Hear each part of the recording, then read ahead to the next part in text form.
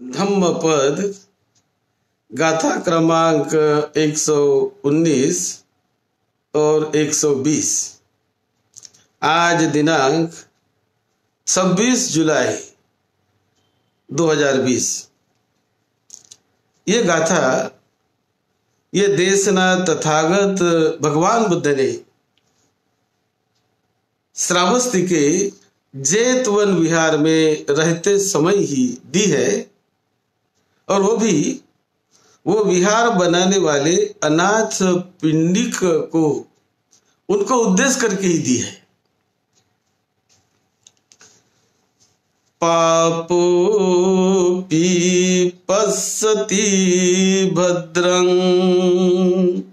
यावं पापं न पच्यति। यदा न पच्यति पापं। अथ पापो पापानि पश्यति। भद्रोऽपि पश्यति पापं। याव भद्रं न पच्यति यदा न पच्यति भद्रं। अथ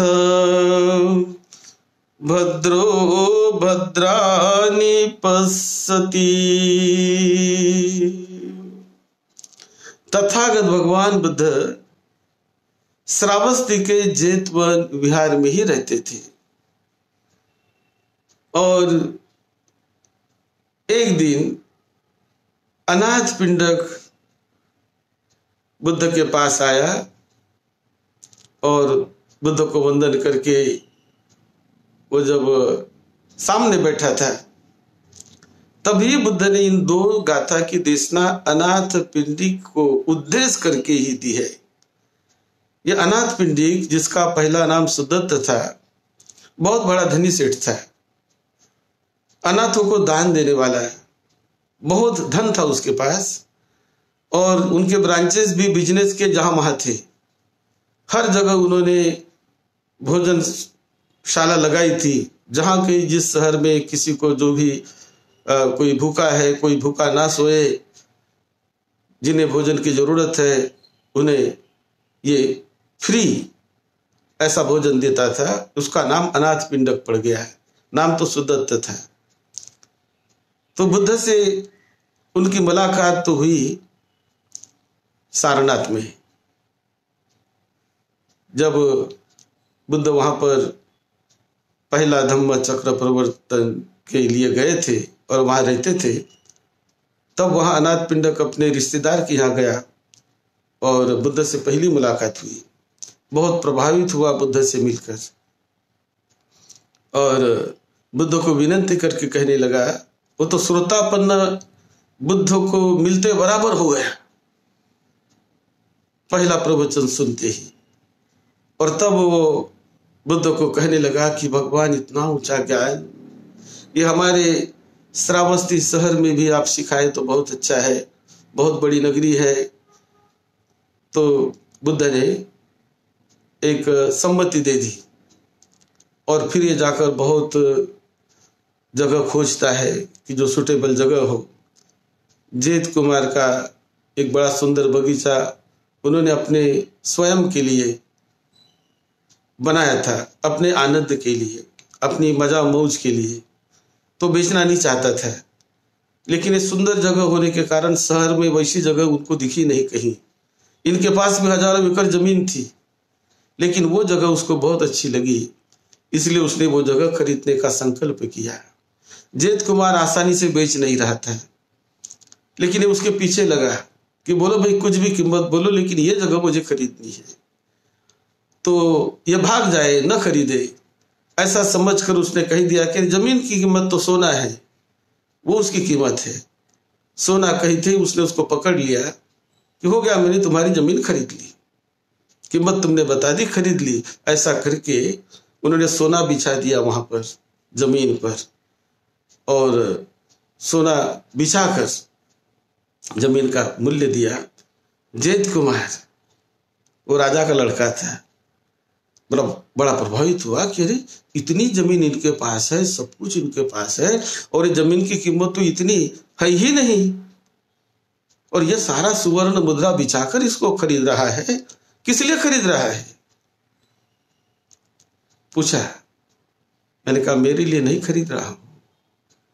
ये तथागत सम्यक संबुद्ध के लिए खरीद रहा हूँ।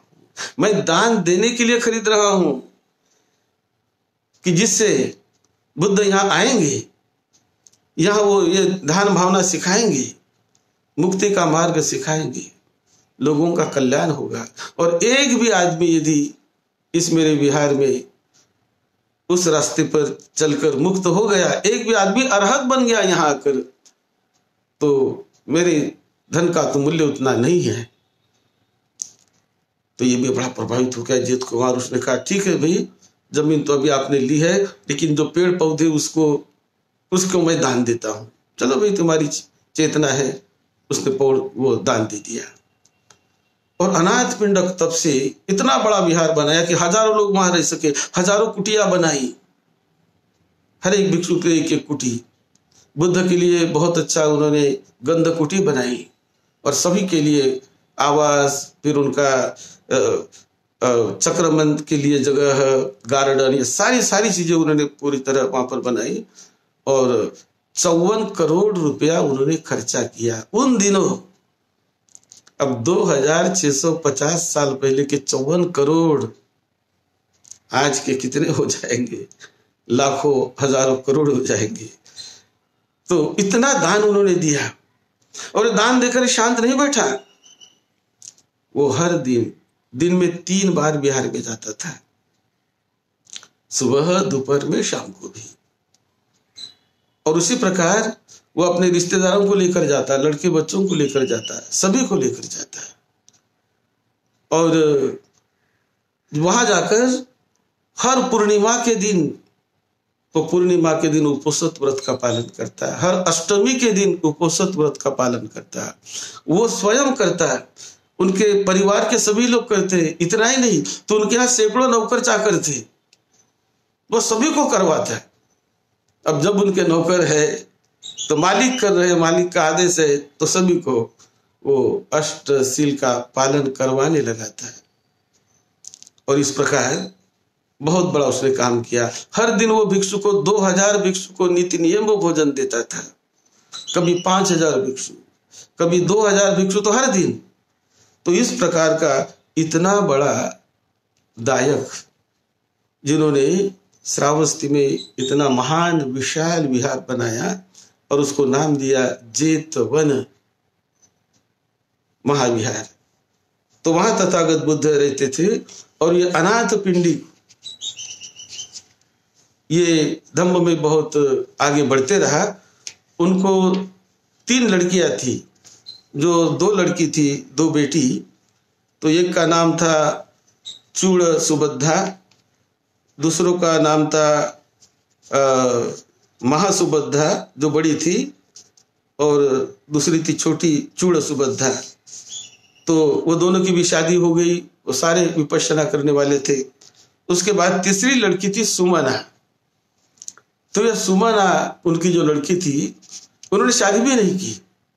लेकिन बहुत धम्म में वो पकी हुई थी, हमेशा दान देती, अपने हाथों से दान परोसती दान देती। उन्होंने शादी भी नहीं की थी।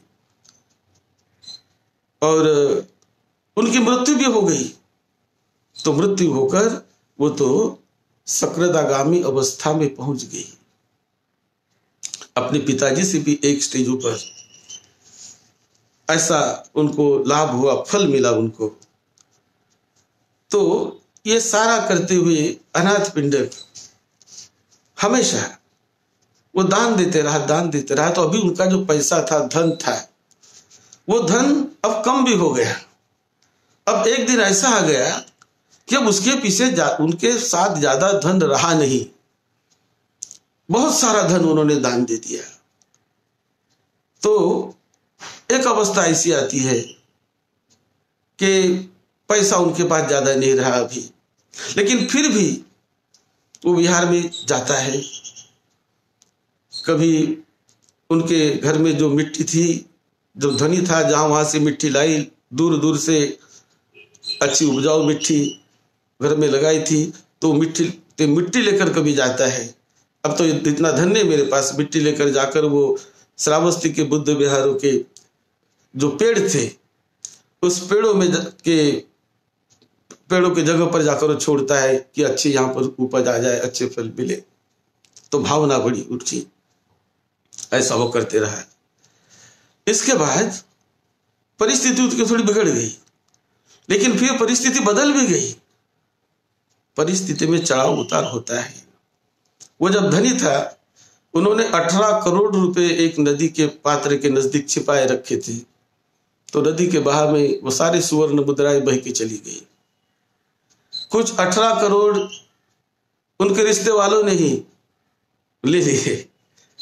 और भी 18 या 26 करोड़ अठारह, छत्तीस करोड़ उन्होंने दूसरों को उधार दे रखा था, अपने बिज़नेस पार्टनर को, जिनको उनको उधार दे रखा। है अब यह श्रोता श्रोतापन्न बनने के बाद उनकी मांगने की भी इच्छा नहीं होती थी कि उधार तो कैसे मांगू मैं? मांगने की इच्छा नहीं होती थी उनकी। तो मांग भी नहीं रहा था उनको। तो इस प्रकार पैसा उनका कम होते गया। और उनके यहाँ एक देवता थी, उनके द्वार पर। वो देवी, वो देवता उनको बहुत सपोर्ट करती थी। अब ये देवता भी कभी कभी भिक्षुओं को देखकर, बुद्ध को देखकर वो गुस्सा होने लगी कि मेरा मालिक हमेशा इनको दान देता है ये करता है वो करता है अब तो ये इसका पैसा भी इसके पास ज़्यादा नहीं रहा है। तो गुस्से होकर वो अनाथ पिंडी को समझाती है देवता उनकी कि अब ज़्यादा ध्यान दान देना बंद करो दान मत दो और आ, कुछ तो भी भिक्षु के बारे में अनप सनप बोलने लगी। तो उसने देखिए बुद्ध के लिए, भिक्षुओं के लिए, उसने उनके घर में रहने वाली, शुरू से रहने वाली प्रिय देवता को उसने हटा दिया। उन्होंने कहा, तुम चली जाओ। बुद्ध के बारे में ऐसी बोलती हो तो वो चली गई रोते रोते अब रोते रोते जाकर, वो जो देवी थी, देवता थी, वो जाकर चातुर महाराजी का देवताओं को मिली और शक्र देवता को मिली। और मिलने के बाद उन्होंने कहा, अरे, तूने कितना गलती किया है। तुम बुद्ध के बारे में ऐसा कभी मत बोलो, बुद्ध के बारे में बुरा सोचो मत कभी। वो तो इतने महान है। उनके बारे में तुम्हारे चित्त में यह भाव आया ही कैसा? इस प्रकार का शक्र देवता ने और चातुर महाराजी का देवता ने उस देवी को खरा खुटा सुनाया। उन्होंने कहा, जाकर तुम बुद्ध को माफ़ी मांगो। जाकर अनाथ पिंड को तुम माफ़ी मांगो। और और धन उनको लाने का प्रयास करो, सारी मदद करो। तो वो जाकर अनाथ पिंड को माफ़ी मांगती है। फिर जाकर बुद्ध को माफ़ी मांगती है कि, भगवान, आपके बारे में मेरे मन में ऐसा ऐसा भाव आ गया, मुझे माफ़ कर दो। बुद्ध ने माफ़ कर दिया और फिर यह सहायक बनी, जिन पर उन्होंने जिनको उधार दिया था जो मांग नहीं रहा था ये ये देवी देवता, उनके यहाँ अलग अलग रूप में जाकर उनको धन लौटाने के कह, लौटाने के लिए कह रही थी और इस तरह उनके पास जो उन्होंने दिया हुआ धन था, वो भी लौटाया। अब बहुत और भी धनी बन गया। कोई पैसे की कमी नहीं, बहुत धनी बन गया। उसका एक लड़का था, उसका नाम था काड़ नाम था, अकेला लड़का।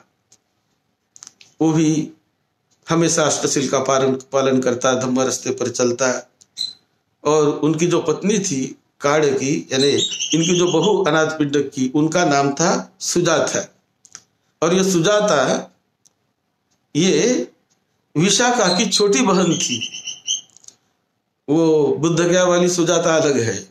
जिन्होंने बुद्ध को खीर दी थी, वो अलग थी। ये श्रावस्ती की सुजाता, जो विशाखा, मिगार माता की, मिगार माता विशाखा की छोटी बहन।